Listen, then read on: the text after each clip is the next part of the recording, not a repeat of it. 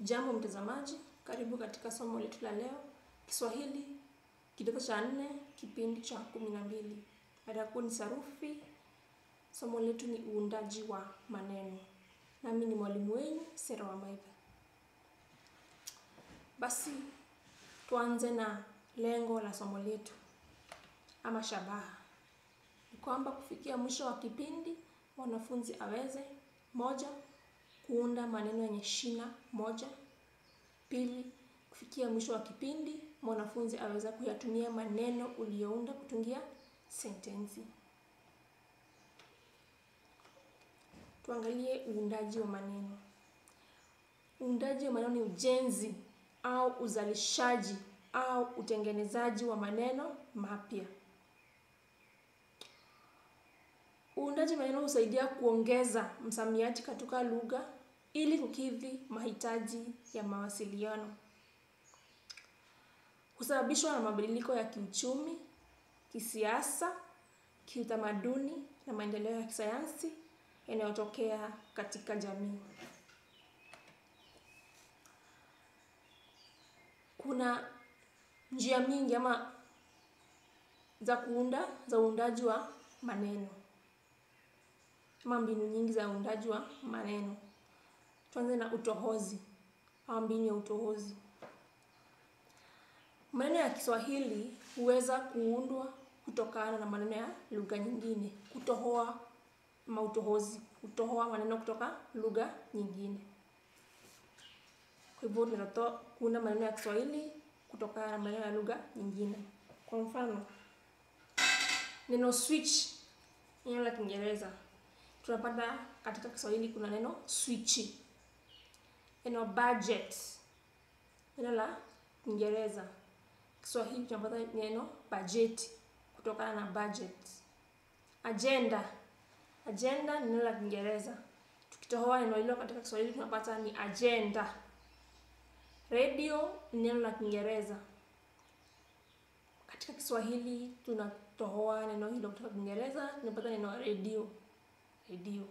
Kwa hivyo ni mbinu ya utohozi, kwa maneno kutokana na maneno ya lugha nyingine. Mbinu nyingine ni mbinu ya tafsiri.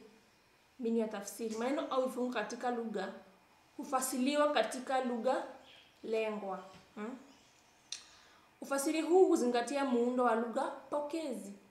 Tafsiri, kuna ile hali ya kutafsiri kutoka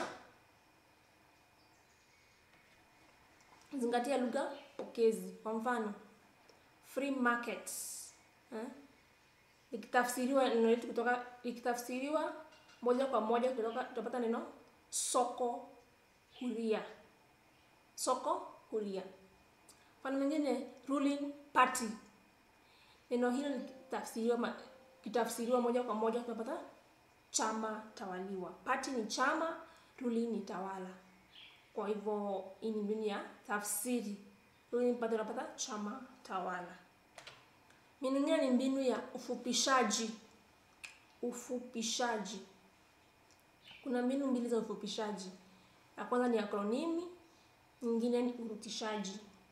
Akronimi, akronomi, maneno ambayo yametokana na herufi au silabi za mwanzo wa neno. Akronomi ni ile mbinu ya kutoa kuunda neno kutokana na herufi au silabi za mwanzo wa neno. Mfano neno ukimwi. Ukimwi inatokana na ukosefu wa kinga mwilini. Ukosefu wa kinga mwilini. Tumetoa herufi au silabi za mwanzo wa maneno tukapata neno ukimwi kutokana na maneno ukosefu wa kinga mwilini. BAKITA, Baraza la Kiswahili Tanzania. Baraza la Kiswahili Tanzania. Hutoa silabi za kwanza katika kila neno nikapata neno BAKITA. Huyu ni mbinu ya ufupishaji ambayo ni akronomi. Mbinu nyingine ya ufupishaji uhurutishaji. Hapa hmm? Vijisehemu vya maneno huwekwa pamoja kuunda neno jipya. Vijisehemu vya maneno huwekwa pamoja kuunda neno jipya. Mfano, chakula cha jioni huitwa chajio. Chajio tumetoa vijisehemu vya maneno na tunapata kuunda neno jipya chajio kutokana na chakula cha jioni. chakula cha mchana, chamcha. Tumetoa visehemu vya maneno tukaweza kupata neno chamcha, chakula cha mchana. Neno lingine ni uakisi wa sauti au mlio, ile unaakisi sauti au mlio eh? Hii ni kufananisha sauti zitokazo kwa kifaa. Unafananisha sauti zitokazo kwa kifaa kupa kitu jina.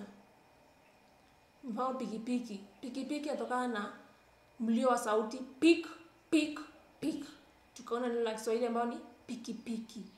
Na kuku natokana na mlio ule wa kuku ku ku ku ku ku, yaani tukapata neno kuku. Hivyo ni ile mini ya uakisi wa sauti au mlio. Neno nyingine ni uakisi wa umbo la kirejelewa. Uakisi wa umbo la kirejelewa, hapa ni ile umbo la kirejelewa. Kwa mfano kama nyoka, nyoka imenyooka, yaani neno nyoka imetokana na ile kuibua taswira ya kitu kilichonyooka. Mm. Pembe kali, neno pembe kali inarejelea umbo lenye pembe iliyo na digrii pungufu ya tisini.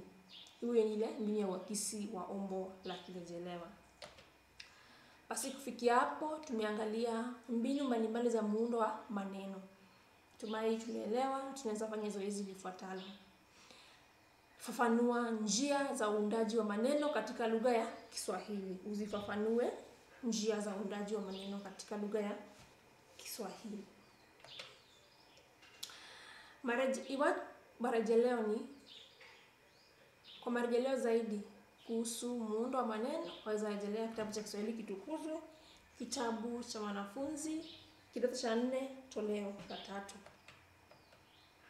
Basi kufikia hapo, iwapo una swali au pendekezo lolote, waweza kunitumia ujumbe kwenye nambari iliyo kwenye runinga. Vile vile waweza tupata kwenye mtandao Elimu TV. Shukran kwa kujiunga nasi.